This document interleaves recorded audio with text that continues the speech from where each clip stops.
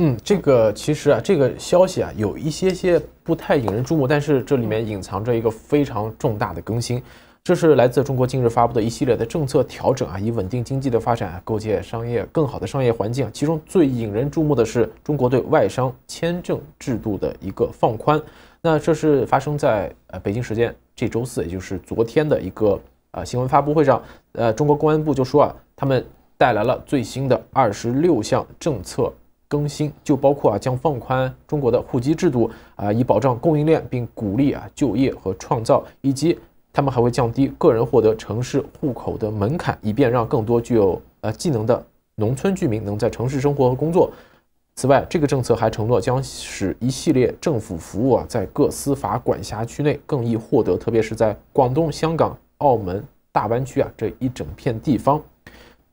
刚才提到最重要的一条更新就是，公安部说，频繁旅行的人将。能可以将他们的这个落地签证升级为有效期长达三年的多次入境签证。那如果这些新的签证措施能及时实现啊，有望解决这个呃在中国的啊这个外商团体他们在之前抱怨过、经历过的一系列的在效率上非常拖延的问题。中国在过去的一个月时时间中啊，将经济复苏也作为关键的焦点，那为在下半年啊稳定外商投资和贸易。中国在七月份，就是上月就说要加大经济政策的调整力度，以提振国内需求、增强信心、化解风险，同时缓解房地产行业的压力啊。政策是都发布了，我们也看到了有很多这个 A4 文件，那效率怎么样？可能还是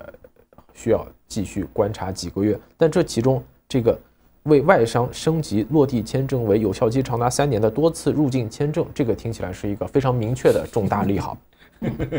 好，谢谢这个何明先生笑得这么开心啊！哎，因为有一些东西我们天天在批评中国啊，批评中共啊，但是我们毕竟不是专业批评户啊，不是反对派，也不是为了批评与批评，有一些地方的改进了。我们当然是非常高兴，因为这个里面涉及到民众的一些基本上的一个便利的问题。因为虽然有的人是关心人权，有的人关心自由，有的人关心这个政治变革，有的人是关心政府的责任啊，但是呢，对于多数的民众来讲，每一个国家其实最关心的还是民生的问题。美国最近一段时间抱怨自己的政府最搞笑的就是要办一个护照。就是你是个美国公民，你在美国出生，不管你是白人、黑人还是黄种人，什么人都没关系。他就是需要很长时间，而且要长达十八个星期。那对于美国来讲是不可思议的，对不对？你你呃，以前美国到欧洲到很多地方就是随时就走了。美国护照虽然不是世界上最好的护照，但是它也是非常方便的护照。但你办一个护照都要十八个月，所以很多人进行了旅游计划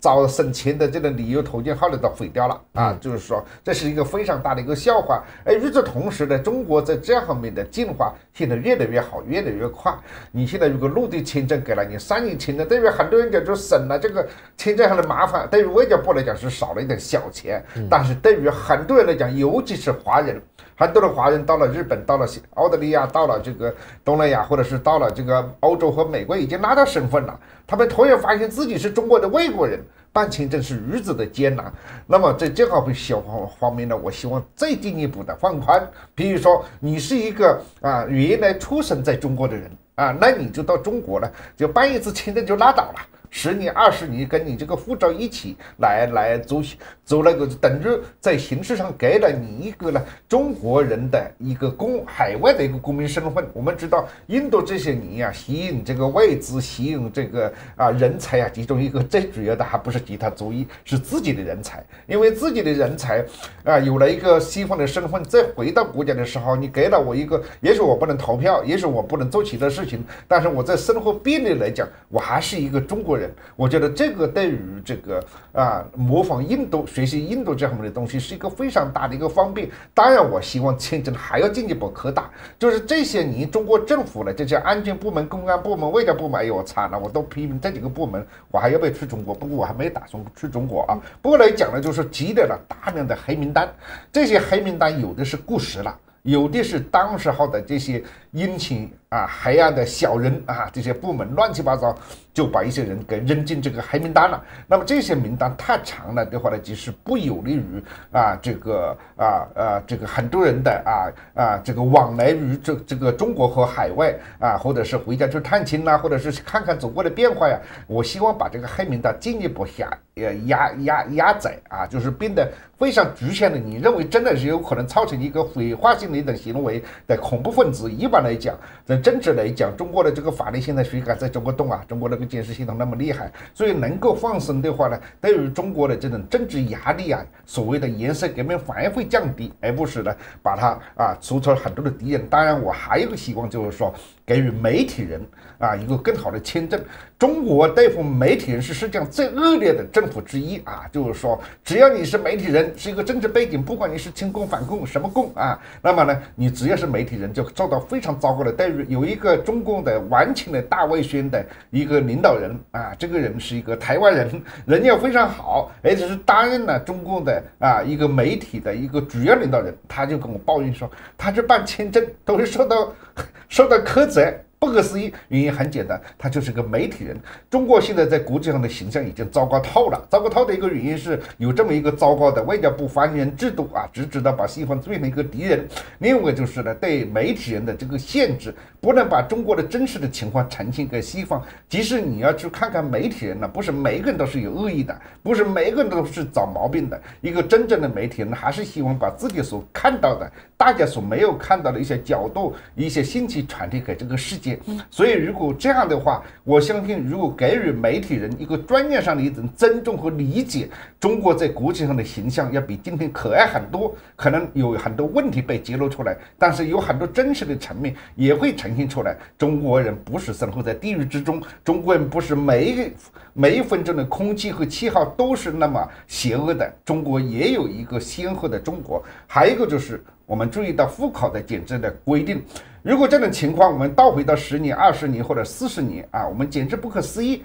因为中国已经通过一种户口的制度啊，实行了所谓的城乡的隔离。所以当时候中国支持南非反对种族隔离的制度的时候，八十年代的时候，我那个时候算比较反动啊，我就是说你这个中国实行的这个城乡差距就是种族隔离啊，而且是自我种族隔离，你比那个南非的种族隔离还要可可还要可耻。啊，虽然都是可耻，你更可耻。那么这些年啊，户口开始生动啊，一些聪明的农民啊，他们进城打工，甚至成为了企业家啊。那么在很多方面啊，中国的农民开始享受啊城市居民一样的这个待遇。那么这个是一个真人品来讲，是一个非常实实在在的进步。对于中国来讲，这也是一个巨大的生产力的一个改变。因为中国长期来讲是一个严格意义上是个小农国家，农民的思想受制于那么几块地的这个制约，农民的生活方式、生活品质也受到那个地方的制约。现在农民开始流动起来了，你可以留下来，也可以到这个城市，